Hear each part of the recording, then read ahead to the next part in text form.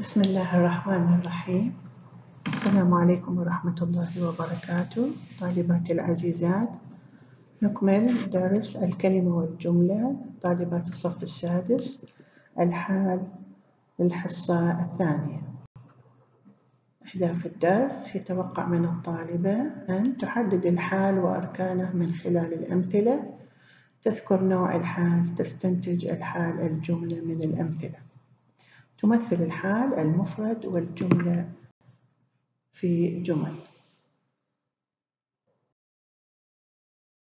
طالبتي العزيزة نبدأ شرحنا للدرس الثاني من درس الحال ودائما نتذكر ماذا تعلمنا في الحصة الأولى من درس الحال. ماذا تعلمنا في الحصة الأولى من درس الحال؟ ننظر إلى المثال جاء القائد منتصرا. جاء القائد منتصرا. من الذي جاء؟ القائد. من الذي جاء؟ القائد. كيف حاله عندما جاء القائد منتصرا؟ كيف حاله منتصرا؟ إذا جملتنا تتكون من حال حال القائد هو منتصرا. ومن هو صاحب الحال؟ القائد. من هو صاحب الحال؟ القائد. نتذكر أيضا بأن الحال هو يأتي مفردا يأتي مفردا ونقصد بالإفراد ليس جملة. في هذا المثال الذي أمامنا جاء القائد منتصرا الحال منتصرا هنا جاء مفردا ليس بمعنى الإفراد في العدد ليس بمعنى الإفراد في العدد. وإنما يقصد الإفراد بأنه ليس جملة اسمية أو جملة فعلية أو شبه جملة. ليس جملة اسمية أو جملة فعلية أو شبه جملة. صاحب الحال والحال يتطابقان في العدد ذكرنا القائد مفرد ومنتصرا أيضا مفرد. ثم بالتذكير والتأنيث بالجنس. القائد مذكر ومنتصرا أيضا مذكر. إذا هنا تطابق الحال وصاحب الحال بالعدد والجنس. ولكن يختلف بأن الحال هو اسم نكرة منصوب لا يتغير. اسم نكرة منصوب. أما الحال فيكون دائما معرفة. دائما يكون معرفة ويعرب حسب مكانه في الجملة. يعرف حسب مكانه في الجملة. هنا الحال جاء القائد. من الذي جاء القائد؟ إذا هنا فاعل مرفوع علامة رفعه الضم منتصرا حال منصوب لصاحب الحال. هذا ما تعلمناه في الدرس الماضي. نكمل درسنا لهذا اليوم بالنوع الأول من الحال وهو الجملة الإسمية. الجملة الاسمية. عندما نقول جملة اسمية إذن سيكون عندي مبتدأ وخبر. مبتدأ وخبر. لنرى المثال الأول كيف أستطعت أن أحوله إلى جملة اسمية؟ جاء القائد أضفت هنا و واو وهنا تسمى واو الحال أو الواو الرابطة. إذا أول إضافة إلى الحال جملة تضيفين الواو وهذه الواو تسمى واو الحال أو الواو الرابطة. ثم وهو وهو أضفت ضمير واختاريت هنا الضمير الغائب هو لأن القائد مذكر. القائد هو مذكر فاختاريت الضمير يطابق صاحب الحال مذكر. ثم تغيرت من منتصرا إلى منتصر. منتصرا انظري هناك منتصرا هنا أصبحت منتصر لماذا؟ لأن الواو واو الحال رابطة. هو هنا جاءت في موقع مبتدأ عندما تقولين مبتدأ يجب أن تبحثين عن الخبر. أين الخبر؟ هو منتصر. إذا هو ضمير في محل رفع مبتدأ وخبر منتصر مرفوع علامة رفعه الضم طيب أين الحال؟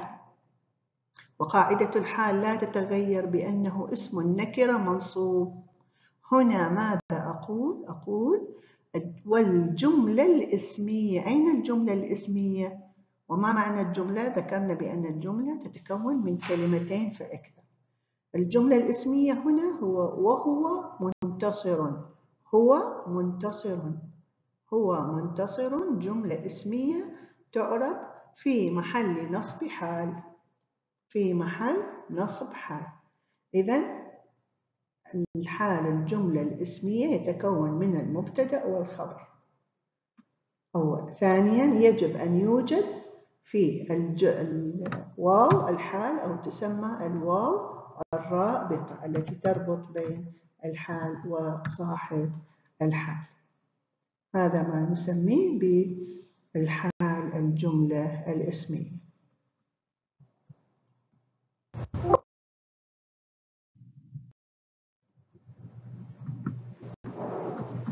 نكمل عزيزتي الطالبة. من خلال فقرة النص وردت عبارة هرب الذئب وهو خائف. هرب الذئب وهو خائف. جاءت هذه العبارة كيف هرب الذئب؟ جاءت العب كيف؟ طبعا هو هي أداة استفهام. وهو هو خائف جاءت في محل نصب حال في محل نصب حال. وكما ذكرنا بأنها تكونت من واو الحال والضمير هو يعود على الذئب صاحب الحال وخائف هو خبر للمبتدأ خبر للمبتدأ. فتكونت عندنا جملة اسمية تكونت من الضمير واللي جاء في محل مبتدأ وخائف هو خبرها. فنقول الجملة الاسمية في محل نصب حال الحال لا يتغير أبدا من ناحية الإعراب. اسم النكرة منصوب لكن هنا جاء على نوع الأول الذي سنتعلمه هو الجملة الإسمية. إذا أعيد طالبتي العزيزة. الجملة الإسمية من الحال تتكون من مبتدأ وخبر تتكون من مبتدأ وخبر ويسبقها واو الحال التي تربط بين الحال وصاحب الحال. هنا هو مبتدأ مرفوع وخائف خبر الجملة الإسمية في محل. نصب حال الجملة الإسمية في محل نصب حال. إذا لدينا جملة هرب الذئب وهو خائف. بماذا بدأت جملة وهو خائف؟ بالواو. ماذا نسمي هذه الواو؟ نسميها واو الحال. واو تربط بين الحال وصاحبه. هل الحال هنا مفرد من كلمة واحدة؟ لا. هنا جملة اسمية هو مبتدأ هو يعرب مبتدأ وخائف خبر. ما نوع الحال في الجملة السابقة؟ جملة اسمية في محل نصب حال. إذا هو هنا الآن الحال جملة اسمية في محل نصب حال. من هو صاحب الحال؟ صاحب الحال هو الذئب. صاحب الحال هو الذئب. لدينا نموذج هنا الحال مفرد كيف أحوله إلى الحال جملة اسمية؟ دخل التلاميذ منتظمين. دخل التلاميذ منتظمين. من الذي دخل؟ التلاميذ. كيف دخلوا؟ منتظمين. نأتي هنا نلاحظ التلاميذ جمع ومنتظمين أيضا جمع. التلاميذ هنا كم؟ آه، معرف نعم معرف والمنتظمين هي نكرة. لأن صاحب الحال يخالف الحال. هنا صاحب الحال يكون معرفة أما الحال يكون دائما آه، نكرة. التلاميذ منتظمين. أغيرها إلى جملة اسمية. دخل التلاميذ وهم منتظمون. وهم منتظمون.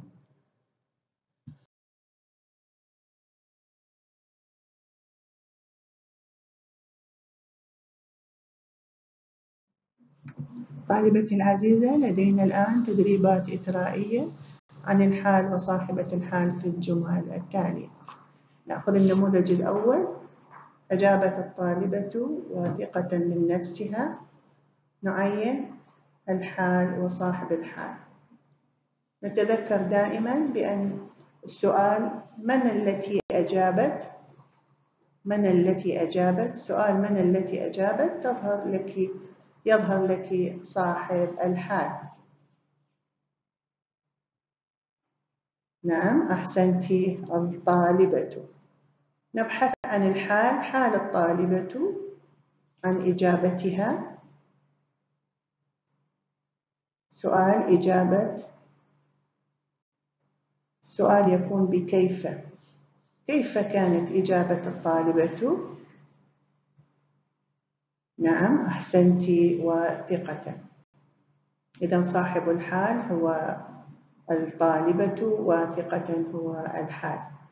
نتذكر دائما أثناء الحال في كل الخطوات الحال يطابق صاحب الحال من ناحية الجنس مذكر مذكر مؤنث مؤنث وبالإفراد الطالبة مؤنثة واثقة مؤنثة. طالبة مفردة واثقة مفردة.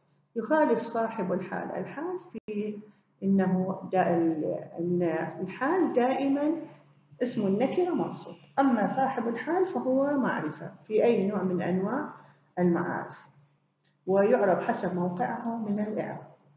نأتي إلى المثال الثاني. رجعت فاتن من المدرسة حزينة. السؤال الأول من التي رجعت؟ نعم أحسنتي فاتن. كيف كان حال فاتن عندما رجعت من المدرسة؟ نعم أحسنتي حزينة. إذا فاتن صاحب الحال والحال هو حزينة. نذهب إلى المثال الآخر. عادت المعلمات فرحات من الذي عاد؟ أحسنتي المعلمات كيف حالهن عندما عدنا؟ أحسنتي فرحات نتوقف هنا للحظات ونرى فرحات إنها حال والحال هو اسم النكرة منصوب لكن هنا هل الكسرة علامات نصب؟ هل الكسرة علامة نصب؟ تأتي علامة نصب في حالة كون إن الكلمة ما هي؟ انظري. فرحات للمعلمات. نعم أحسنتي إنها جمع مؤنث السالم منصوب ومجرور بالكسرة فقط في هذه الحالة المثال الرابع سأتركه لك طالبتي العزيزة. سمعت البلبل مغردا من هو المغرد؟ نعم. وكيف حاله عندما سمعت استمعت له؟ نعم أحسنت. إذا البلبل صاحب الحال والمغرد هو مغردا. هو الحال. نأتي إلى تدريب لدرسنا لهذا اليوم وهو تحويل الحالة المفردة إلى جملة اسمية. عاد محمد فرحا. هنا جاء حال مفرد نحوله إلى جملة اسمية. عن طريق جملة اسمية يتحول إلى مبتدأ وخبر. مبتدأ وخبر. ستكون الجملة. نعم أحسنت. عاد محمد. وهو فرحان. الجملة الاسمية تكون من المبتدأ والخبر. هو فرح في محل نصب حال